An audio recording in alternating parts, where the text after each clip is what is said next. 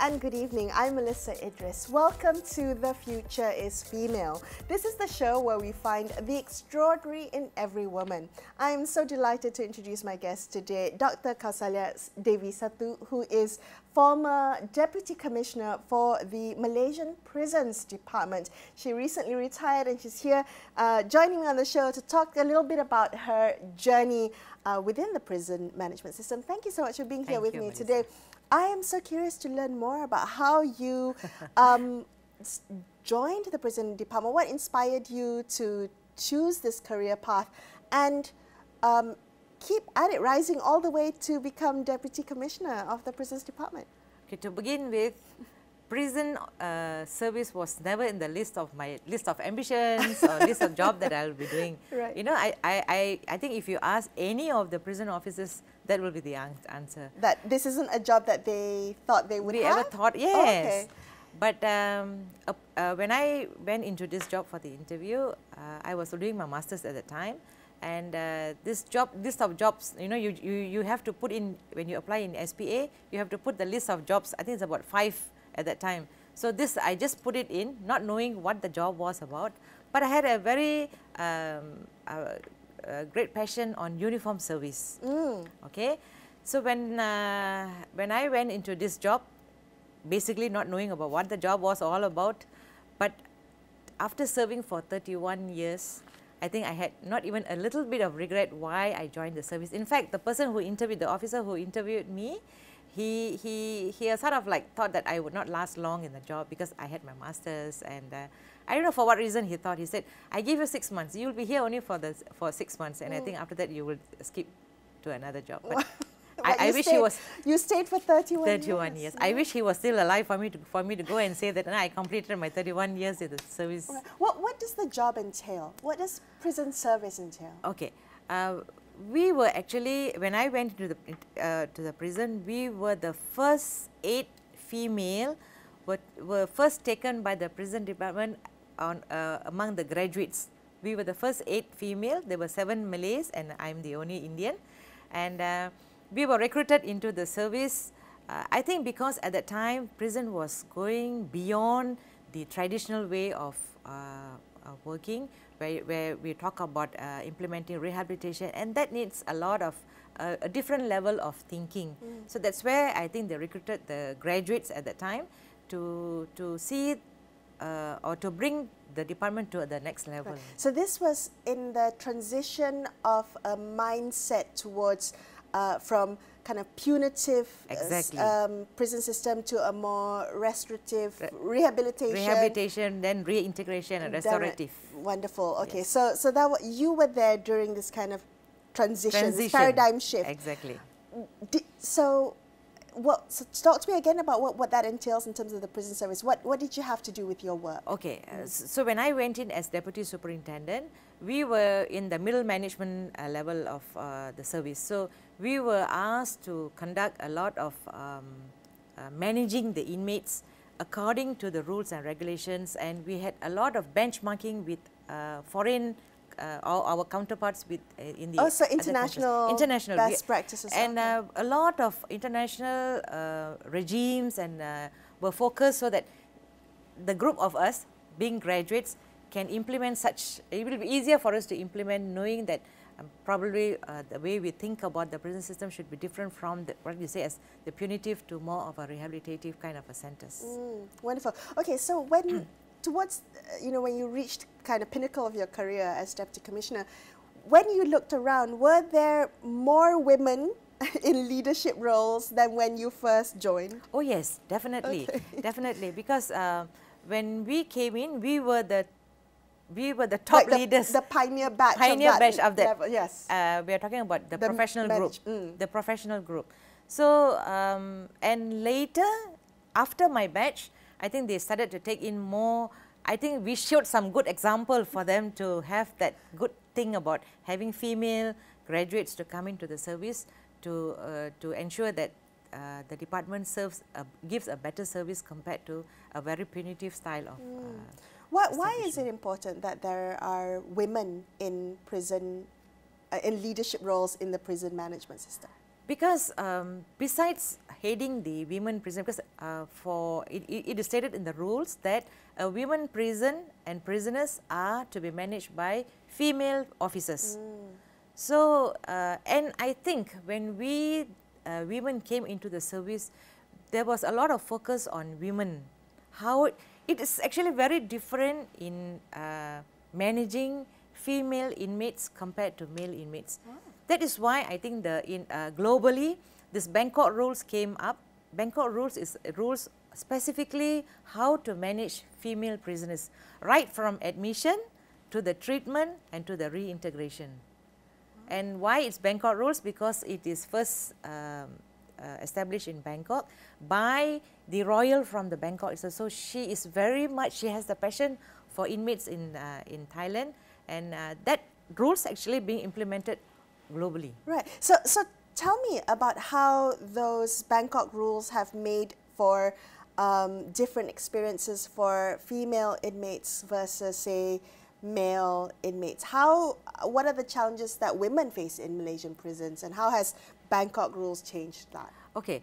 Uh, you see, basically, when you when you manage a prison, you are talking about uh, uh, admission and all that. But for female, the way you you, it's not a welcoming into the prison, but the way you bring them into the prison itself is very important because women are very down emotionally, socially, and psychologically because they feel very hopeless. You know, uh, it's not easy to to be a women inmate actually because they feel very hopeless and especially if they are mothers themselves, mm. they feel that they had not, they have the, the, the, the guilt feeling that they had not been uh, taking care of, they're supposed to take care of their children and all that or even being the, being, they, they can also be the head of the family. Mm. So when all that is not being done by them, they are very down emotionally.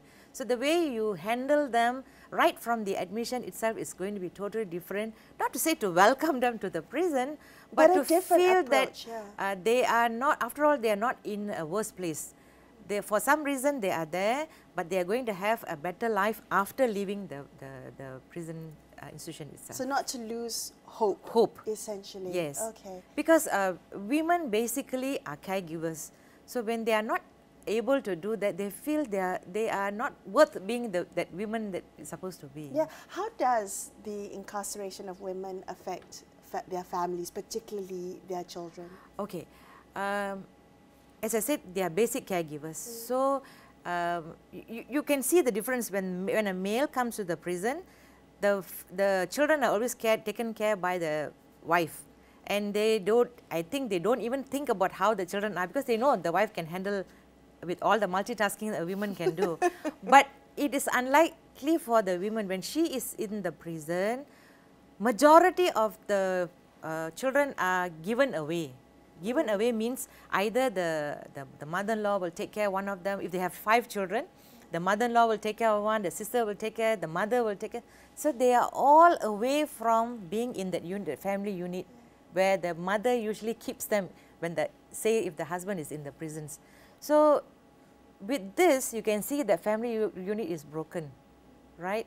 And the love, it's not only the love among the mother and the child, the love among the siblings are also, right. you know, destroyed by, by this women coming into the prison. So you can see that, and, and, and you can see that the, the, the grievances they face when they are not able to take care of children, because they think, they think their primary role is to give care for the children. And that's where in 2005, when I was heading the female prison, I actually implemented the Mother's Day in prison. Tell me. okay, why I implemented? Because I feel that as a mother, I put a lot of care on my children's education and their well-beings. So, and being a mother itself, seeing other mothers in the prison who are not supposed, who are unable to do such thing, I feel very sad for them. Mm.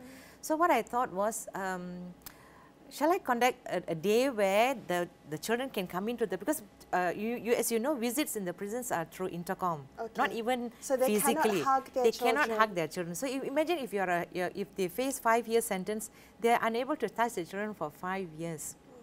So I was thinking, uh, let me organize this program and see how it comes. So initially I just did it in the prisons. I did in the prison compound. I brought, actually bringing in children to the prison is another no-no, you know, for the prison department. Really? But I try to break that uh, in uh, by by uh, telling my my superiors that I will handle the issues very well. I have all the security. You know, the security was one of the main reason they were quite skeptical about the whole program. But I ensured them. I said I will take care of this. So I did it in the prison compound.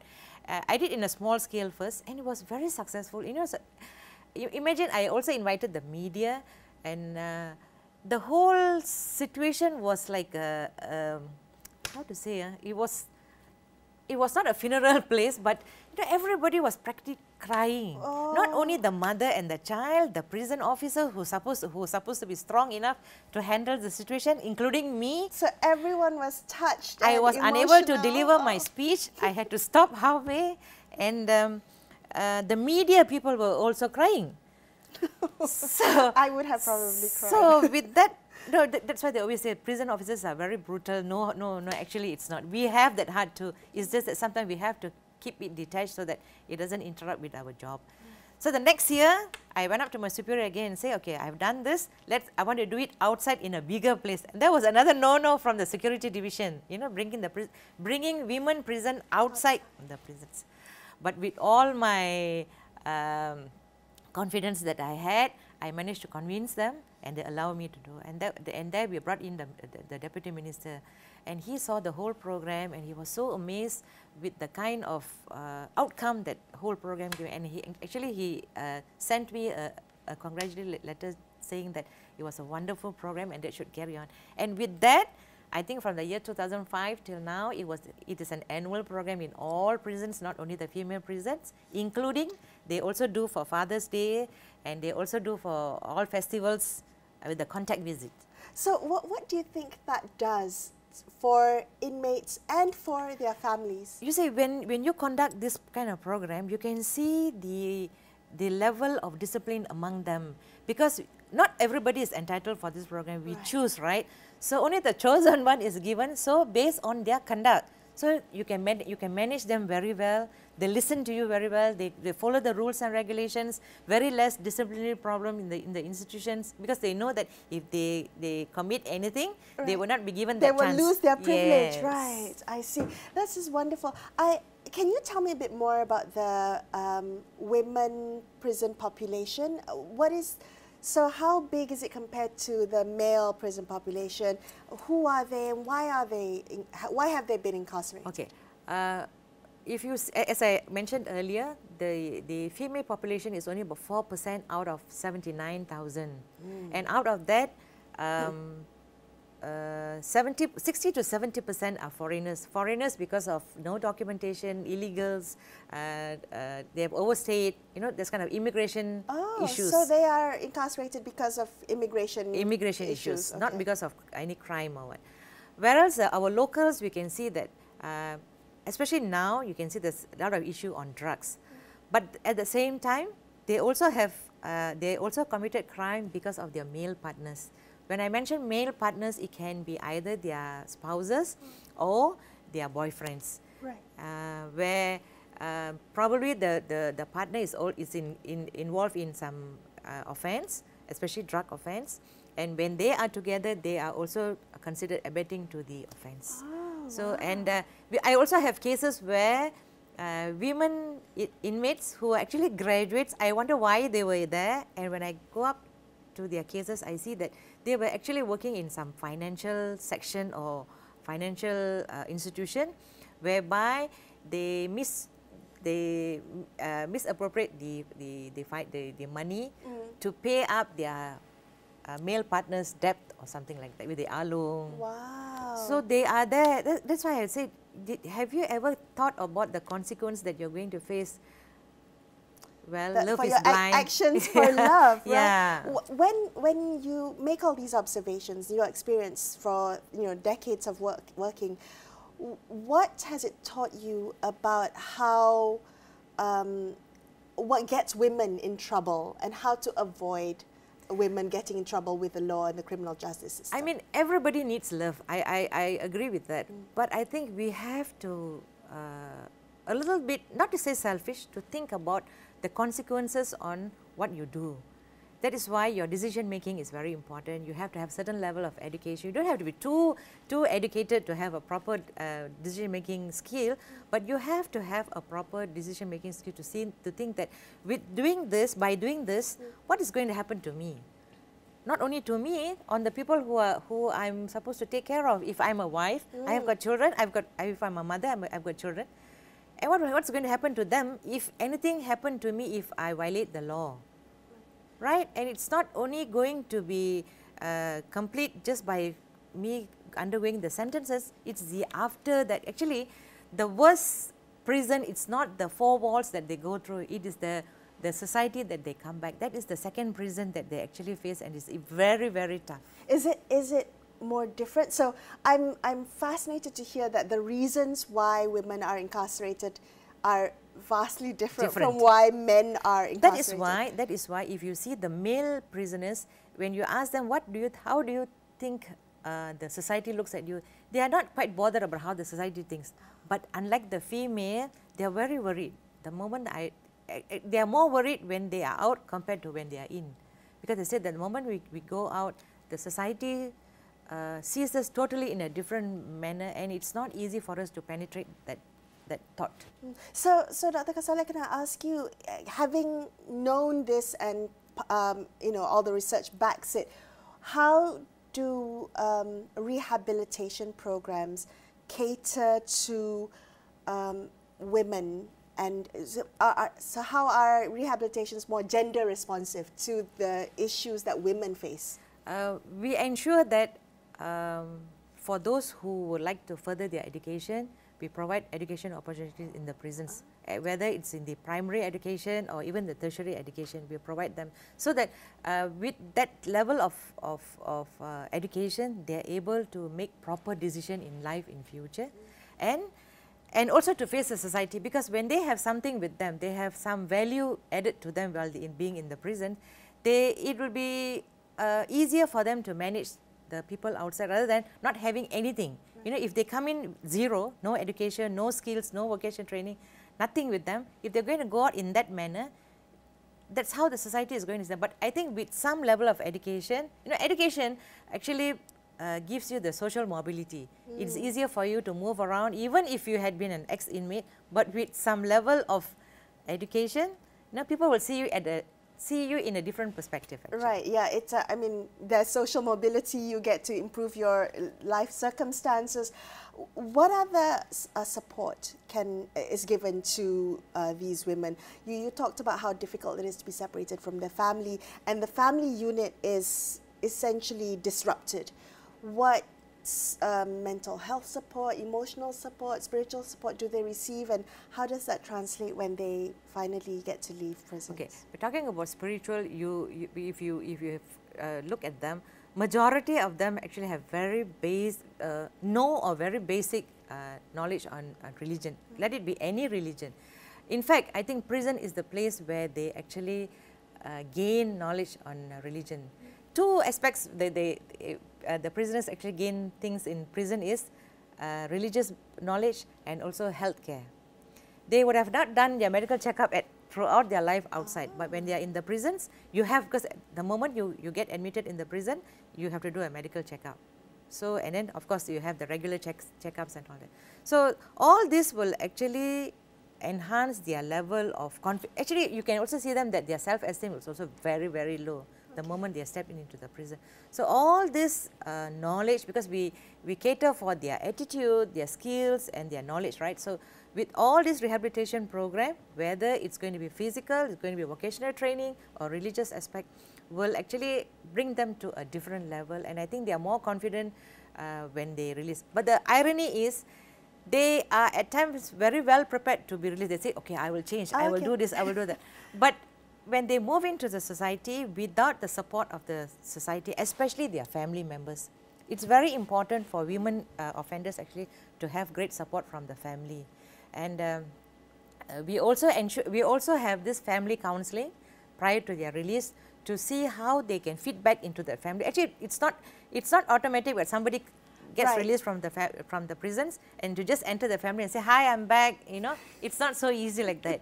It's to they have to even the family has to be trained on how to receive back this uh, family members back into the society. Oh, and what do you train the families we to do family counseling. Okay. when they when they come for visits we do family counseling. And if we if we feel that inmates uh, uh, response to us saying that they need to to talk to the family then we have these sessions with the family Do we know anything about how um, the the rate of uh, recidivism amongst female? actually it's less than 1% Oh, so most very much less of them most of them are first time offenders first time offenders and they never reoffend. never reoffend unless they are drug offenders Wonderful. Okay, so uh, in having said all of this, what can, uh, what would you like to see in terms of um, change to in the community, in policies, in support for um, the women who are about to reintegrate into society? Thank you for the question, Melisa. I am looking forward for such question. First of all, if you ask me uh, personally, I think females should not be sent to the prisons. There should be some amendment in the law where not not not to segregate. I'm not segregating the male and the female to say that offenders of such kind need not go through imprisonment. There are many other alternative sentencing where you can you can actually. Uh, uh, implement that sentence and at the same time does not disrupt their daily life. Right. We have the at, at, uh, currently we have the offenders compulsory uh, sentence where uh, you they will actually uh, go on with the sentence and at the same time they can work and they can be with the family. So this will actually suit especially for the female offenders or the very minor offenders, those who don't have ICs, those who shoplift, you know, you don't have to, because when you go to a prison, your whole, your whole system, your whole uh, life actually Yes. changes because of that one incident. You can be a one-time offender, but that actually disrupts your whole life. So uh, to me, uh, community sentencing for, especially if, since we are talking about female offenders, Yeah. I think community-based uh, uh, sentencing should be more appropriate for female offenders because you, you, you realize that most of the time their crime is not a very serious crime, very minor crime, uh, or it's a, it might be a white collar crime. So for them, so that so that uh, the stigmatization doesn't there's no issue on stigmatization or reoffending or relapsing you know all this all this re re re thing does not happen to them and uh, you actually not only save that woman you're actually saving the whole society so uh, community based we're talking i think today's paper the star paper we're talking about uh, rehab compared for drug offenders Mm, mm. I think uh, decriminalize, criminalizing this kind of offenders is also very important. It is high time. I think uh, a lot of talks, a lot of agendas, a lot of uh, debates has been going on. But I, even after 32 years, because I remember this this issue was discussed when I first went for this prison interview 32 years ago, talking about alternative sentencing. But it, it's yet to be implemented. What do you think is um, stopping us from progressing? Because it is the more humane approach. If you Yes, think because I think we fail to understand that uh, actually imprisoning somebody is very expensive. You're talking about uh, taxpayers' money, you know, uh, whereas I think that amount of money can be used for more, more other, uh, uh, other, other prior, other, uh, other priority like uh, education and health. And people think that when you give a community sentence, based sentence uh, to a offender, you are going very lenient on them. Actually, it's not isn't it? It's not talking about lenient leniency or things like that. Uh, it is how you actually uh, bring them back to. First of all, you have to ensure that they repent. Not only by imprisonment, you can do it even even at the at the community base, at the support that they get. Because for some reason, I think the public is also one of the reason why they commit crime. Right? Because it's a social problem. Right. So the society has to take responsibility on this, and uh, I think you should uh, do away with thinking that community-based sentencing is a very lenient sentencing. Okay, all right. I, I wish I could talk to you for another hour or so to get all the insights that you've learned in your 30 years of service, 31 years of service. But I want to thank you for sharing a little bit of your knowledge and your experiences with us today. I appreciate your time. Thank you so much. Thank you, Melisa. Thank you for taking, uh, bringing this topic to the public, uh, where they can now think about uh, they can have a different perspective on women offenders. I hope so. Thank you Thank for your time. That's all we have for you on this episode of The Future is Female. I'm Melisa Idris signing off for the evening. Thank you so much for watching and good night.